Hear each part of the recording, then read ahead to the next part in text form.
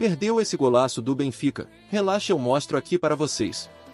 Gilberto dá lindo passe para Gonçalo, na entrada da área e ele com calma e frieza deixa o zagueirão no chão e finaliza para o fundo do gol.